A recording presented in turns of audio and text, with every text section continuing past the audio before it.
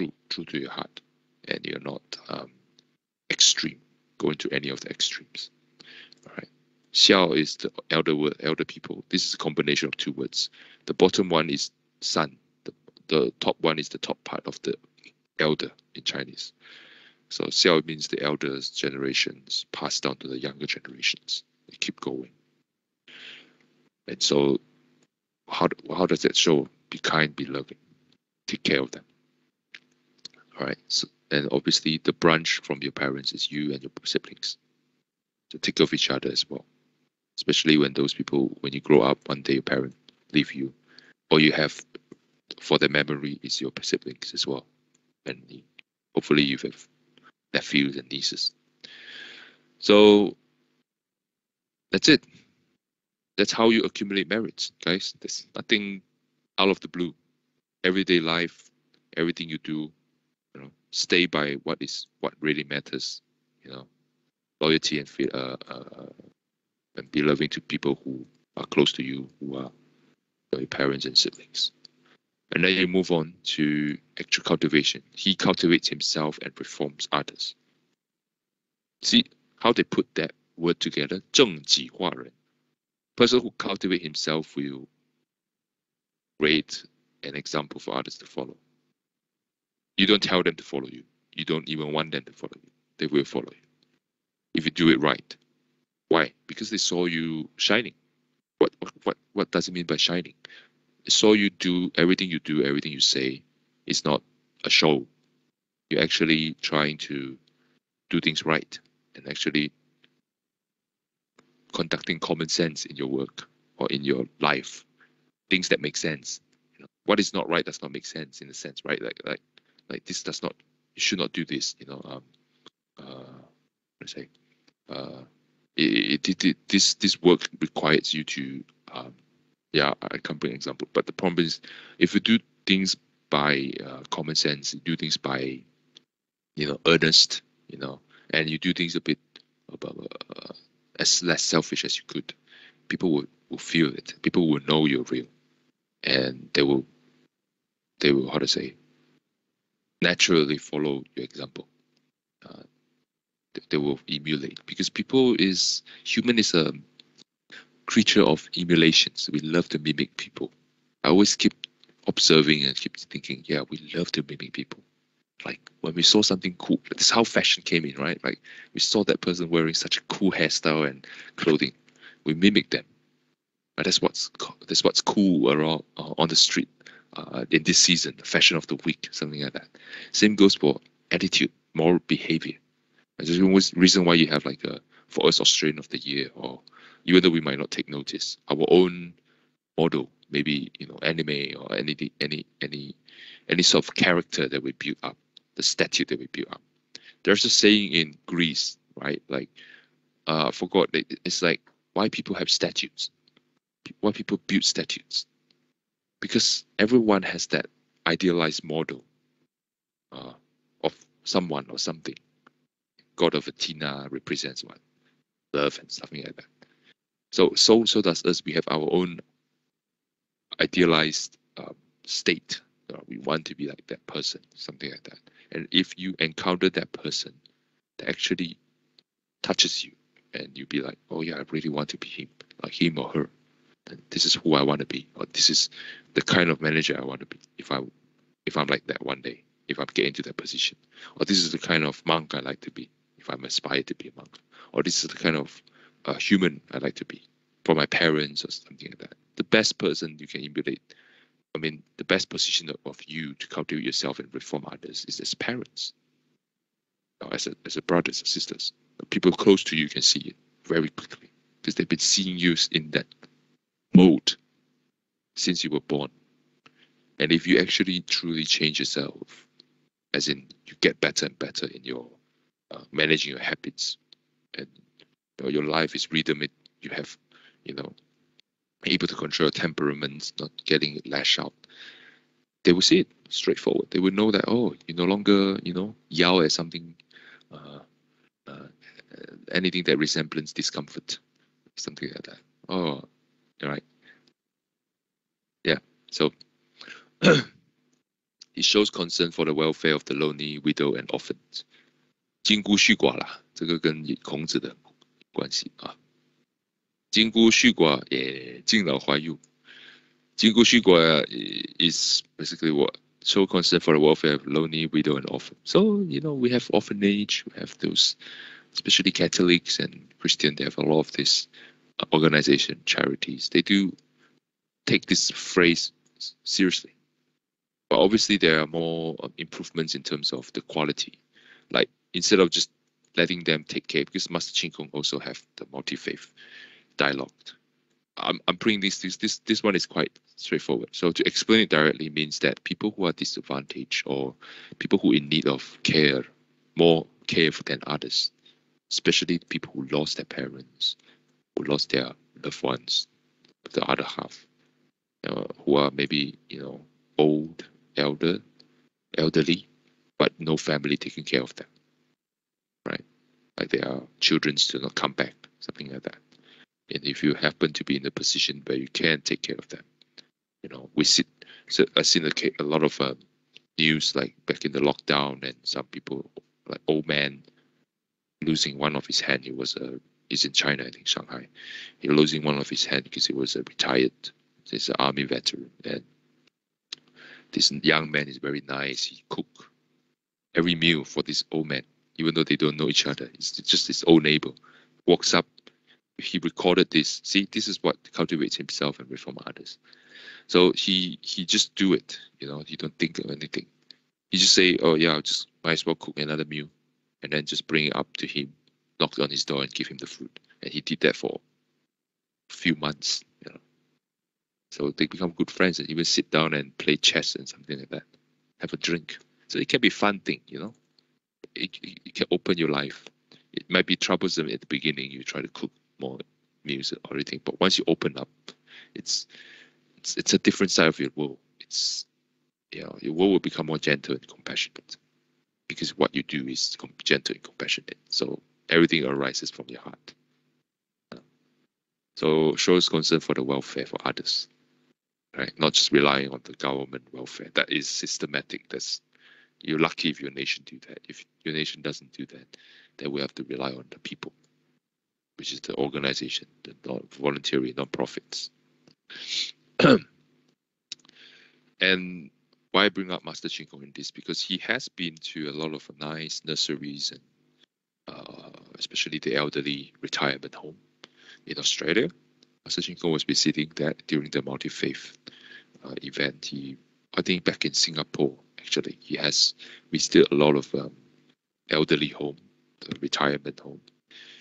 Um, it's actually more elderly home, like they take care of the disadvantaged old man and you see all of them just sit there and waiting.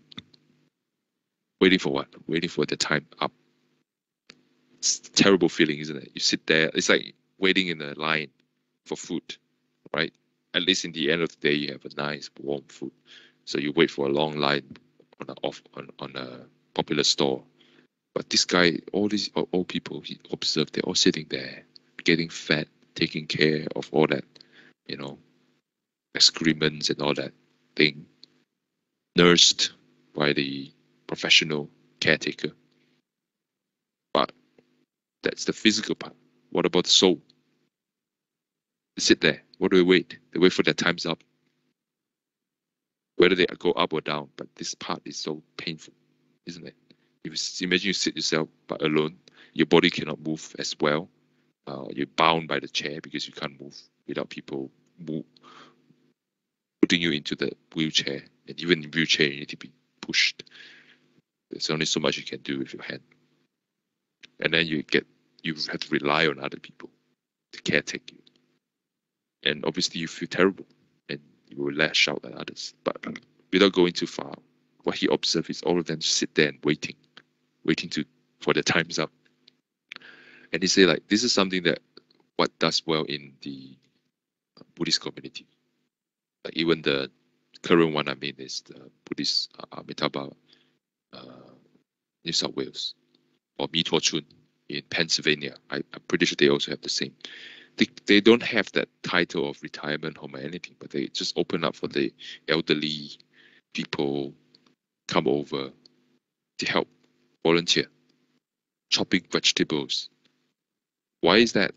Why is that a better way? Because first thing he he don't just receive, he also can give.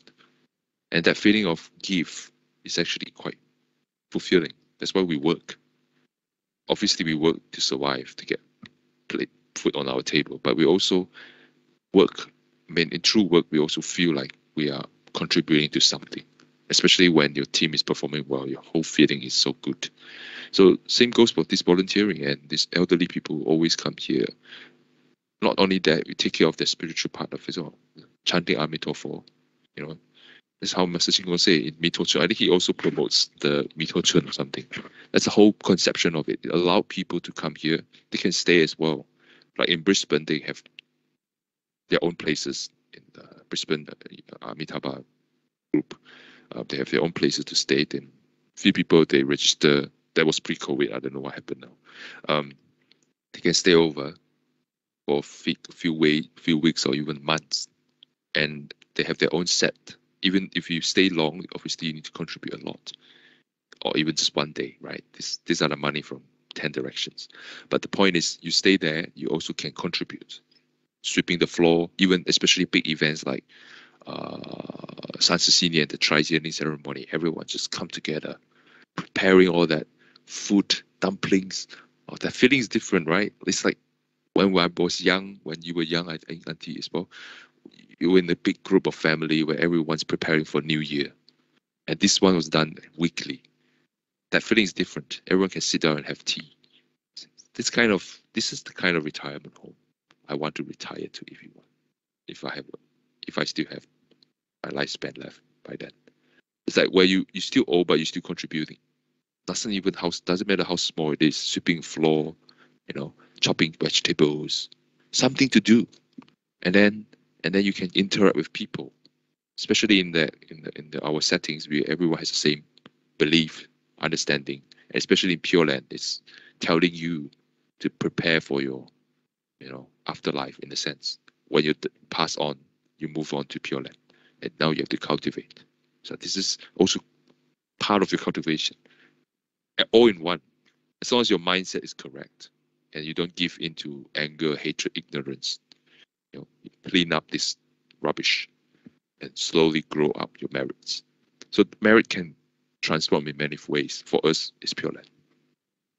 So that's what I'm trying to say is, especially for the retirement home, that's the um, kind of direction they should go.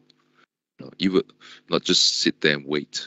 Sometimes you're bedridden with a very serious condition, but normal pe- old people in the general, I think in the average level, they still can walk, they still can talk. So they should have the environment where they should contribute to the community in a protected space where you know there's still people looking after them, but they can still cook. They can they can even take care of other elder people. The feeling's different. Trust me, it's different. Um, I think that's it. It's 11 o'clock. Uh, we have uh, done the first part. First half. right? Yeah, I think it's half. Oh no, it's not. We're done like uh, this much for the section two of Taisha Pian, Tradition, Response, and Retributions. Thank you for the um, uh, you know for listening to into this. Uh, I'm still practicing, trying to enriching the content of this. You will do very well with proper examples, which I'm still working on. Right now, I'm just talking in circle about theories, the, the understanding, conceptuals. Very heavy on concept rather than examples. I did give a few, but I uh, will work hard for that with my own life experience, with the experience I had from others like Master Ching Kung or even aunties or Auntie Yanzi or even other friends, but also bring some historical example given by uh, the books that I read, you know, the temple books, the books of Mr. Yu, Mr. Uh, Liao Fan as well. So thank you so much. Um, to summarize all this, we can talk so much and we can get it just like that. But to do it, um, it takes time, time is the only way for you to do it well. The provided you let time do it, you give time to do it. That means you put effort into it.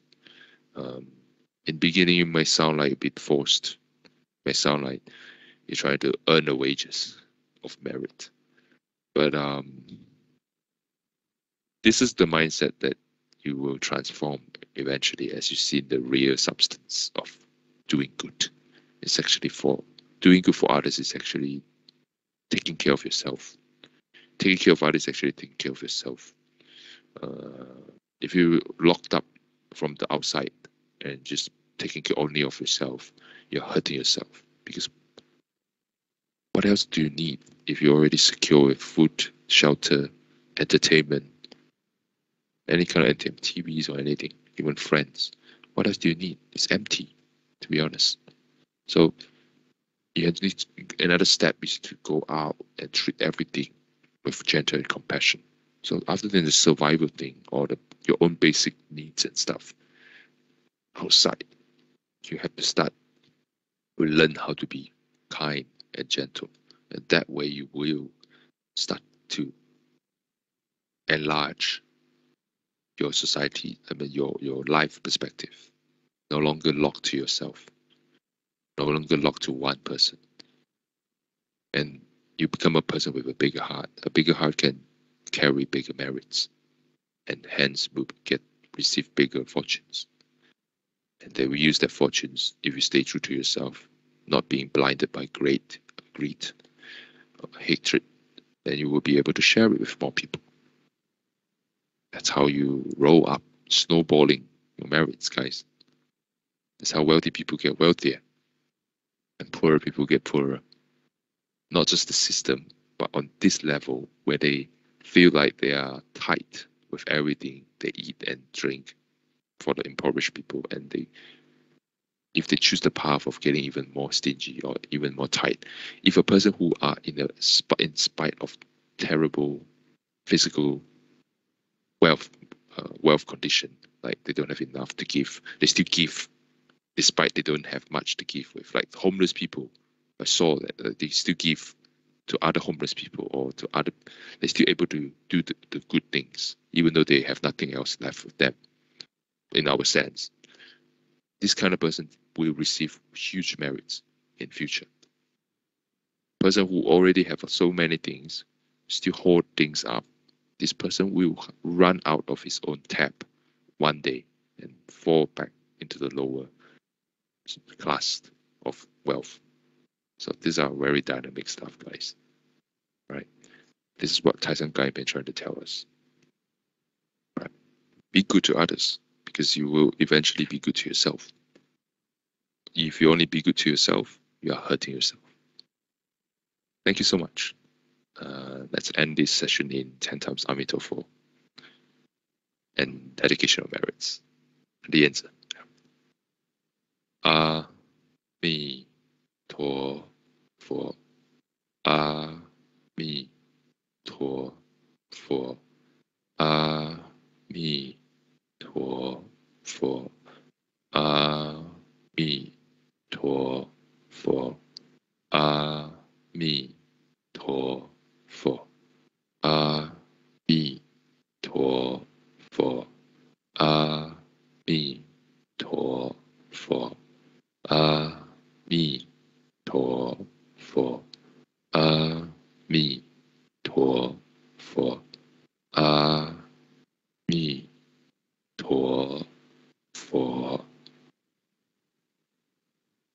Dedication merits.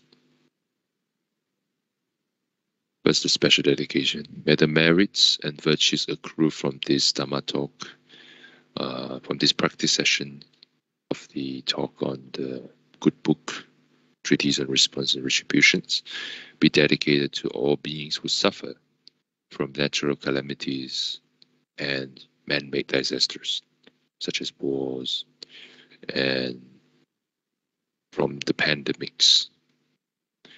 Uh, may this merit also dedicated to all beings and their karmic creditors, as you know, that suffers from this, and also dedicated uh, to my grandfather who is currently in stage 3B cancer, and hopefully he's and his karmic creditors will be liberated one way or the other uh, from the pain and sufferings.